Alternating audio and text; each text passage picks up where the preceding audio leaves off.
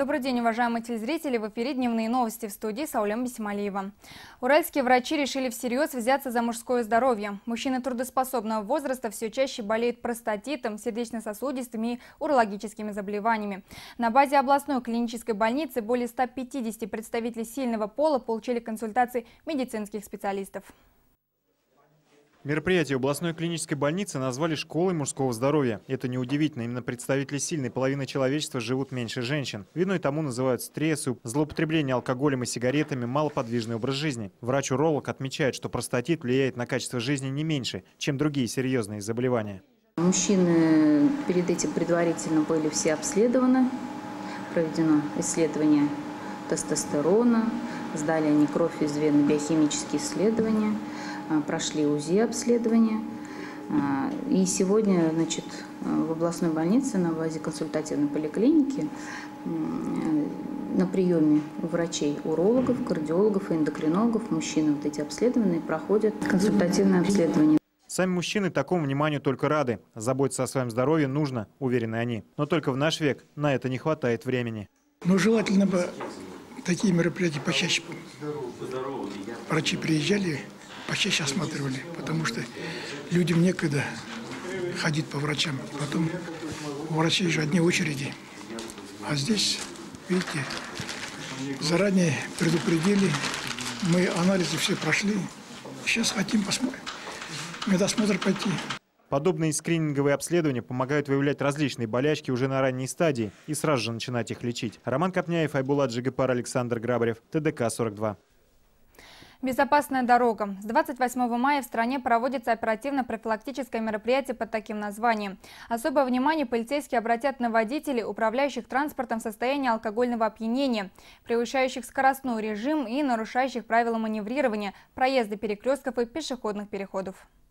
Совместно с местными исполнительными органами, представителями транспортных организаций проводятся рейдовые мероприятия по выявлению и пресечению нарушений правил дорожного движения, допускаемых водителями общественного транспорта и в особенности такси.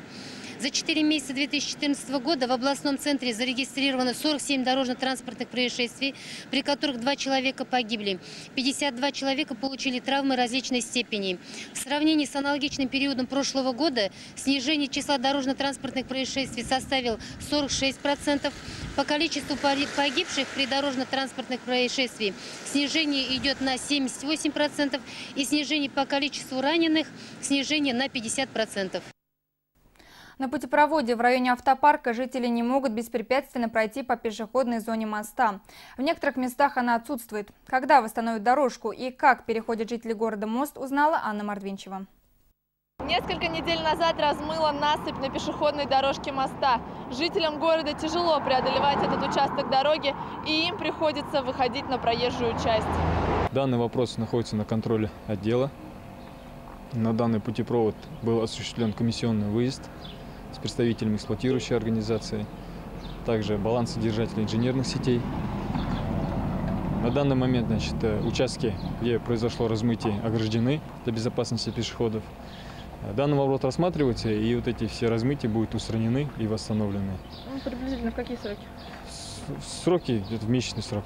Под мостом находятся железнодорожные пути, поэтому проходить этот участок дороги небезопасно. Тем более, что тротуарной дорожки там нет. Жители уже протоптали обходную дорогу, но люди преклонного возраста, не мамы с колясками, там не пройдут. Я за день хожу три раза по мосту. Это очень неудобно, ведь такие ямы с обоих сторон дороги. Это очень опасно, особенно для детей. Нужно срочно ремонтировать эти участки. Также на данный момент отделом ЖКХ разрабатывается проектно-сметная документация на капитальный ремонт этого моста. Может, в скором времени его обновят полностью. А пока жители города, переходящие дорогу по этому мосту, должны быть очень внимательны и бдительны при переходе этих участков. Анна Мордвинчева, Нурлан Кунашев, Рустам Джумашев, телеканал ТДК-42. С начала пожароопасного периода количество степных пожаров резко увеличилось. Уже зарегистрировано 74 возгорания сухой травы. Только за эти выходные было 8 случаев выезда спасателей. Основная доля пришлась на областной центр, а также Зеленовский, Теректинский и Бурлинский районы. Также самый значительный был зарегистрирован и в Буке и Ординском районе. Основной причиной специалисты называют человеческий фактор. Неконтролируемый отжиг, разбрасывание мусора, окурков, э, разбитые стекла, все это у нас влияет на все. Температурный режим на данный момент сохраняется еще высоким, поэтому обратиться хотелось бы к населению, чтобы э, соблюдали правила пожарной безопасности, тем более на данный момент уже вот сейчас идет тополиный пух, дети уже после как бы школы на отдыхе уделяли больше внимания соблюдению правил пожарной безопасности. Концерт по случаю приближающегося праздника. Совсем скоро мы отпразднуем самый светлый и добрый праздник для самых маленьких. Международный, Международный день защиты детей из года в год отмечается очень весело и красочно. Вот и сегодня наша съемочная группа побывала на мероприятии, приуроченном этому дню. Биби Гультаужанова с подробностями. Цветы, шары, красочные ленты. Мероприятия для самых маленьких всегда проходят очень весело и ярко. Вот и сегодня ребята в предвкушении. Ведь такие праздники всегда оставляют кучу позитивных эмоций, улыбок, ну и, конечно, подарков и сладостей. У меня сюда ходит дочка Екатерина 2010 года, февраля месяца. Уже 4 года сюда ходим. Нам здесь очень нравится, потому что здесь дети, с детьми общаются, во-первых. Во-вторых, это очень большое спасибо, то, что такое учреждение открыли, то, что родители могут работать. В дневном стационаре обслуживается 56 детей в возрасте от 2 до 18 лет. Большой коллектив центра позволяет всесторонне подходить к обучению и воспитанию ребят. С детьми занимаются дефектологи, логопеды, есть массажный кабинет. Главная цель сегодняшнего мероприятия, отмечают организаторы, подарить детям хорошее настроение. Пребывание в нашем центре позволяет родителям оставлять детишек на целый день. Это очень удобно. Они могут ходить на работу и заниматься своими делами. Организовано питание. Из года в год мы стараемся проводить подобные праздники. И в этом нам помогают спонсоры. Вот и сегодня для наших воспитанников мы подготовили подарки.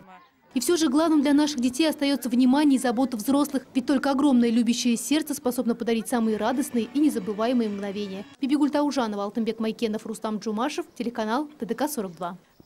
Это была вся информация к этому часу. Спасибо за внимание. До встречи в следующем выпуске.